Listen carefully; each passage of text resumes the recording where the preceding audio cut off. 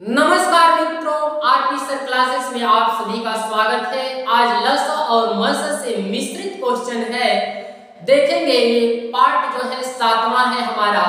पहला क्वेश्चन का शुरुआत कर रहे हैं। दो दी गई संख्याओं का लघुत्तम समापवर्त्य, उन संख्याओं के महत्तम समापवर्त्य से छह गुना है।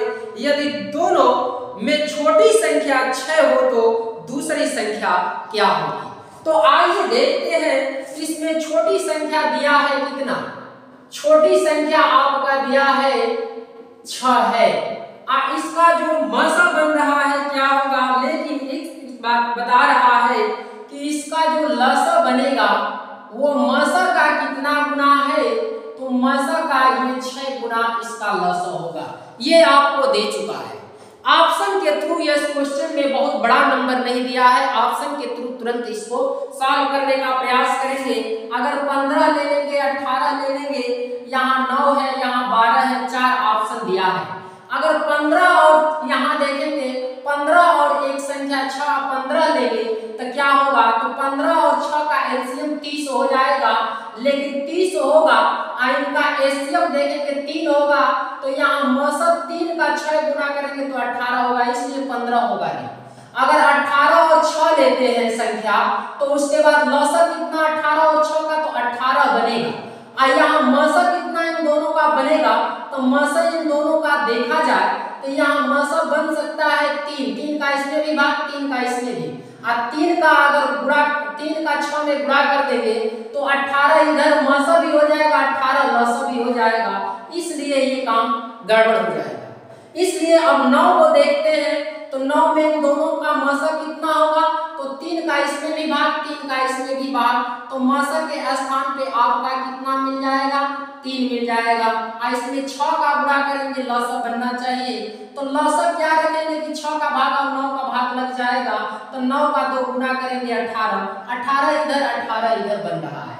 तो इसलिए इसका विकल्प तीसरा बिल्कुल सही है। आते हैं, अगले नंबर पे चर्चा करते हैं कि अगला क्वेश्चन क्या है? अगला क्वेश्चन देखते हैं। दो संख्याओं का महत्तम समापवर्तक छानवे और उनका लघुत्तम समापवर्तक बारह सौ छानवे है यदि उनमें एक संख्या आठ सौ चौसठ हो तो दूसरी संख्या कितनी होगी? आइए देखते हैं, आप जानते भी होंगे कि इसका फॉर्मूला क्या होता है कि पहली संख्या गुणे दूसरी संख्या बराबर लस गुणे क्या होता है? मस। ये फॉर्मूला होता है। इसमें सेम टू सेम दिया गया है कि दो संख्याओं का महत्तम समापवर्तक महत्तम समापवर्तक छानवे और लघुत्तम समापवर्तक दिया है कितना? बारह सौ छानवे और इसमें कह रहा है यदि उनमें से एक संख्या एक संख्या आठ सौ चौसठ हो तो कह रहा है कि ये दूसरी संख्या क्या होगी? तो आइए देखते हैं दूसरी संख्या बराबर हम देख सकते हैं बारह सौ छानवे रुपए छानवे और बटे में कितना होगा? आठ सौ चौसठ अब देखेंगे कि इस छानवे का टेबल अगर पढ़ना चाहते हैं तो कितना बार पढ़ेंगे कि आठ सौ चौसठ आ जाएगा? तो आप कहेंगे कि ये छ का कितना बार टेबल पढ़ेंगे कि लास्ट में चार आता है? नौ छके चौवन, इसका मतलब नौ बार में कट जाएगा।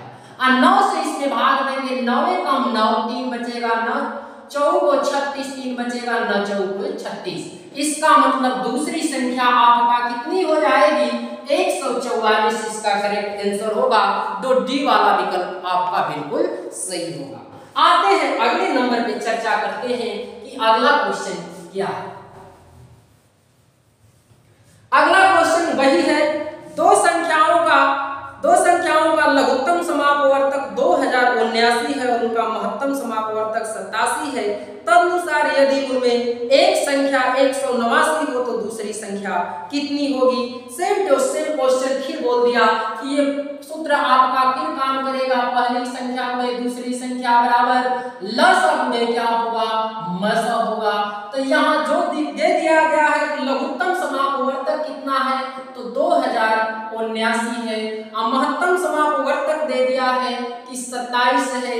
इनमें से एक संख्या दिया है कि एक सौ नवासी है। तो दूसरी संख्या क्या होगी? तो आइए देखते हैं कि दूसरी संख्या क्या होगी।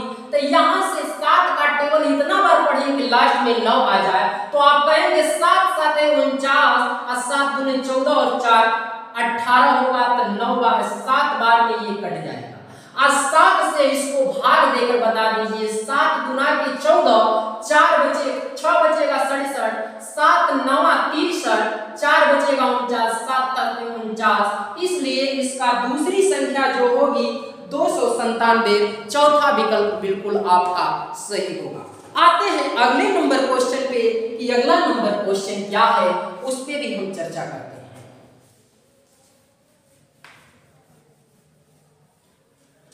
अगला नंबर क्वेश्चन है यदि दो अभिव्यक्तियों का लघुत्तम समापवर्ती और महत्तम समापवर्ती क्रमशः एक्स स्क्वायर प्लस छह एक्स प्लस आठ और दूसरा ब्रैकेट में दिया है एक्स प्लस वन और एक्स प्लस वन है और एक अभिव्यक्ति एक्स स्क्वायर प्लस तीन एक्स प्लस दो है तो दूसरी अभिव्यक्ति क्या होगा? तो दूसरी क्या होगा? तो आइए देखते हैं सेम क्वेश्चन वही है। इसमें भी वही चीज़ है कि यहाँ पहली संख्या गुणे दूसरी संख्या बराबर क्या होगा? लस गुणे क्या होगा? मस होगा। यही पे आपको दिया है कि दो अभिव्यक्तियों का लघुत्तम समापवर्ती तथा महत्तम समापवर्ती लघुत्तम कहा है? तो पहला नंबर यहाँ दे चुका है। क्या दिया है? एक ब्रैकेट में दिया है एक्स स्क्वायर प्लस छह एक्स और प्लस दिया है आठ। आ, ये दिया है x प्लस वन अब इसने महत्तम समापवर्त दूसरी बार कहा है तो दूसरी बार यहाँ महत्तम समापवर्त दिया है, x प्लस वन अब इसने कहता है कि एक अभिव्यक्ति कितना है? तो ये पहला अभिव्यक्ति दिया है कि x स्क्वायर प्लस कितना है? तीन एक्स प्लस दो है। और दूसरे के बारे में कह रहा है कि तब दूसरा क्या हो सकता है? तो आइए देखिए दूसरे के बारे में कैसे पता करते हैं। तो आइए देखते हैं कि इस नंबर में हम क्या कर सकते हैं कि सबसे पहले कुछ ऐसा नंबर हम कॉमन लिया जाए कि दोनों में कुछ कॉमन मिले। तो आइए देखते हैं, इसको हम क्या करेंगे कि दो है, वो कौन चीज़ जोड़ देंगे यहाँ? तो दो होगा तो दो हम देखेंगे। फैक्टर गुणा करेंगे तो दो हो जाएगा। तो दो में एक का गुणा करेंगे तो दो हो जाएगा आज जोड़ने पर तीन हो जाए, दो और एक तीन हो जाएगा। तो यहाँ प्लस दो और प्लस वन रख देंगे। तो इसको हम क्या लिख सकते हैं? तो थोड़ा सा विचार करेंगे तो आप गुणनखंड पे अगर विचार करेंगे तो क्वेश्चन बहुत लंबा होगा। लेकिन गुणनखंड भी क्वेश्चन में आता है तो शार्ट तरीके से करिए। क्या करना है कि यहाँ एक्स स्क्वायर है तो एक्स का मतलब एक्स प्लस यहाँ टू एक गुणनखंड हो जाएगा। और फिर ये जो है एक्स प्लस वन इसका गुणनखंड दूसरा हो जाएगा। इसका वैल्यू खत्म हो गया। अब यहाँ अपने दूसरी संख्या बराबर इधर लिखेंगे अब इसको अगर लिखना चाहेंगे तो आठ है, किसका गुणा करेंगे तो आठ आएगा, जोड़ने पर छह आ जाएगा। तो आप कहेंगे कि दो गुणे चार कर सकते हैं तो इसमें दो गुणे चार करेंगे तो आठ तो हो जाएगा, प्लस अगर जोड़ दिया जाए तो छह हो जाएगा। तो यहाँ से इसका मतलब क्या होगा? तो आप कहेंगे ये प्लस है तो x के साथ x प्लस टू लिख लीजिए और x के साथ x प्लस चार लिख लीजिए। तो यहाँ तक इसकी संभावना खत्म होती अब देखेंगे ये क्या है? x प्लस यहाँ वन है। अब मल्टीप्लाई क्या करेंगे? x प्लस यहाँ वन है। अगर मल्टीप्लाई भी नहीं लिखेंगे तो ये मल्टीप्लाई खुद है। तो x प्लस वन से x प्लस वन को काट दीजिए। x प्लस टू से x प्लस टू को हटा दीजिए। तो दूसरी संख्या बराबर क्या होगा? तो यहाँ देखेंगे तो x में x का गुणा करेंगे मेरे भाई तो x स्क्वायर होगा। और चार में एक जोड़ देंगे तो ये तो पाँच बनेगा। और x है तो x इसके साथ लगा लीजिए। और यहाँ देखेंगे प्लस क्या होगा?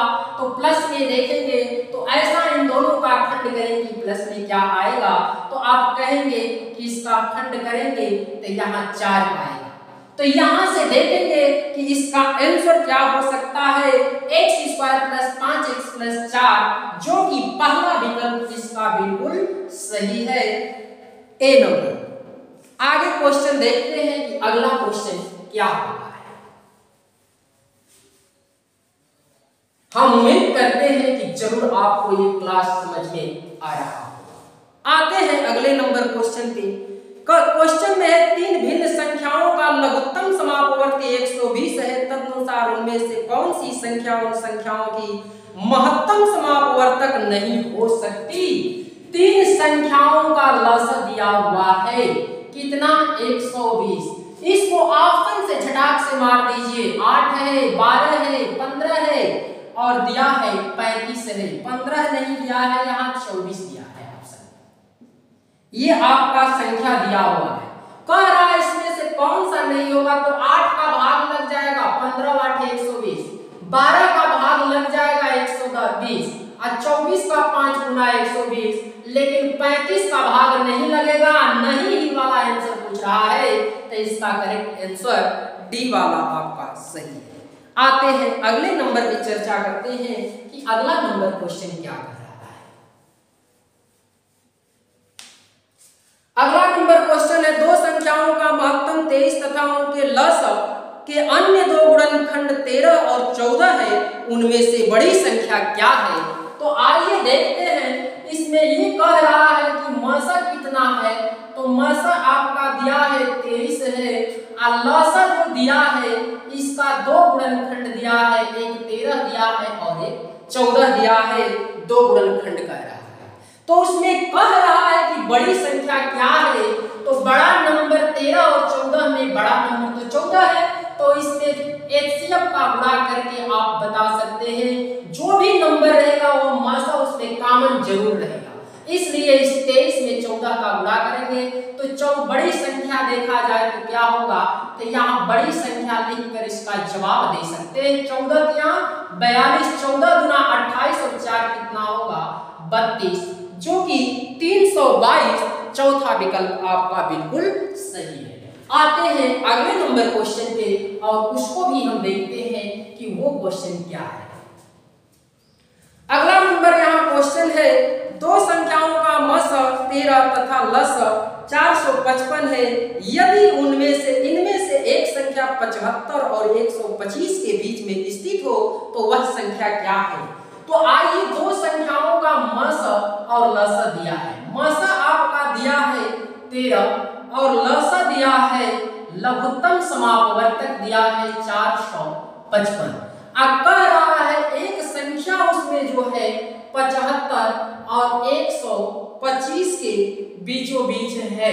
तो इसमें क्या बीचों बीच खोजेंगे कि एक संख्या आइए देखते हैं, इसका भी जवाब आप ये आंसर दे देंगे ऑप्शन से। कैसे ऑप्शन से देंगे? तो ऑप्शन में अठहत्तर है 104 है और एक इक्यानवे है, एक सौ सत्रह है। तो आइए देखिए इन दोनों के बीच में क्या पड़ रहा है। तो सभी के सभी नंबर इन दोनों के बीच में पड़ रहे हैं। अब इससे फैसला नहीं होगा। अब इन दोनों में फैसला लेने की किससे होगा। जब तेरह से भाग देंगे। मौसा जब है तो सब में कामन होगा तो तेरह का भाग सब में लगेगा तेरह छह अठहत्तर तेरह आठ एक सौ चार तेरह सत्तर इक्यानवे तेरह नवा एक सौ सत्रह तेरह से भाग लग गया अब लगभग समापवर्तक चार सौ पचपन है.